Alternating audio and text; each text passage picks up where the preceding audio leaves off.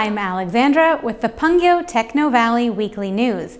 Here's the news from the third week of July. Google and Kakao's battle over the app marketplace's in-app payment is heating up.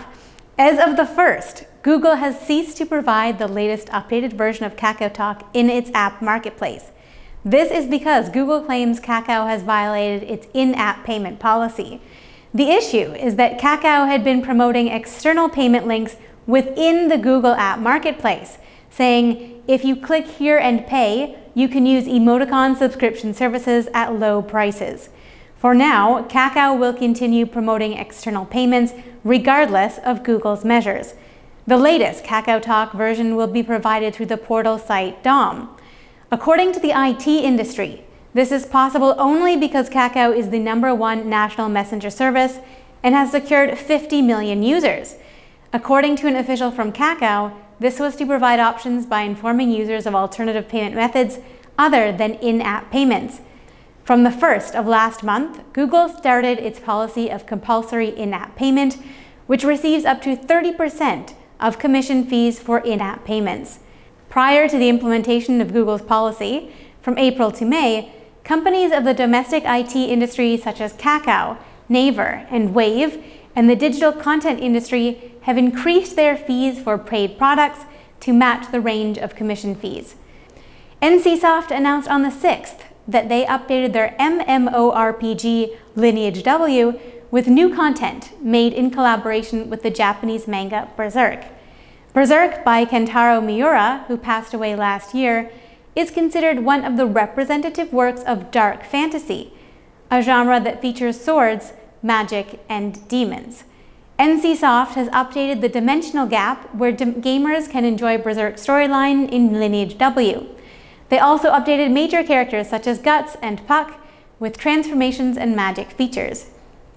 Import Genius announced on the 5th that they are providing the newest export data from 18 countries for free, to domestic companies in order to minimize the damage from market changes in the global supply network. Import Genius is planning to provide the newest custom export data of 18 countries around the world for free to the Korean market. The data includes the products, importers, amount, and date of sale for each country's exporting company. By utilizing this data, domestic companies can discover supplying companies from many different countries and diversify their supply network by seeking cooperation. Changes in the volume can be tracked through the transaction relationship diagram between companies based on the latest data analysis, and the company can design their own suitable scenario and prepare measurements to minimize risks. CEO of Import Genius Korea, Jiwon Cho said, We are planning to extract and provide customized data to companies that need data. In order to maintain the fairness of benefits, all extracted data will be disclosed on the website. Hanwha Aerospace announced on the 5th that they held an agreement ceremony for aerospace mentoring Would You Like to Space?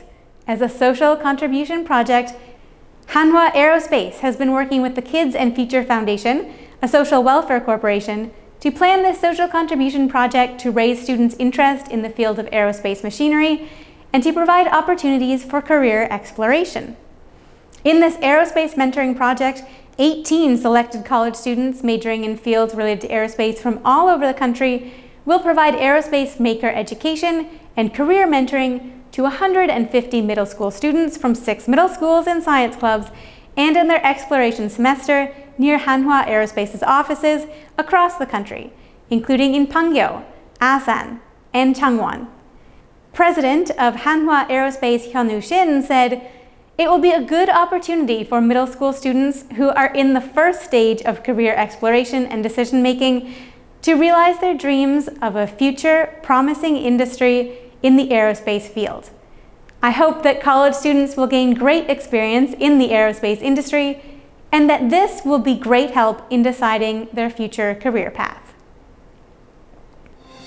And now it's time for the quick news of the week. Smilegate Hope Studio announced on the 5th that they have opened recruitment for the third SGM, Smilegate membership, social participation until the 20th.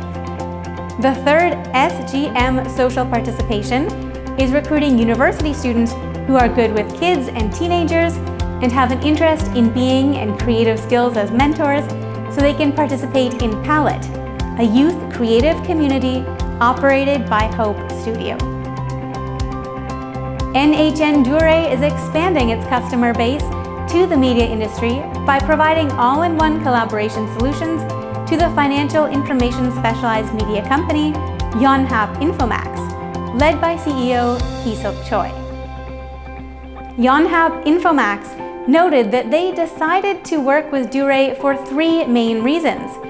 Service and security stability, scalability, and quick onboarding training and service responsiveness. Naver Webtoon announced on the 6th that they signed a business agreement with the Literature Translation Institute of Korea under the Ministry of Culture, Sports, and Tourism to support overseas expansion of domestic content. That's it for the Pangyo Techno Valley Weekly News. I'm Alexandra, and I'll see you next week.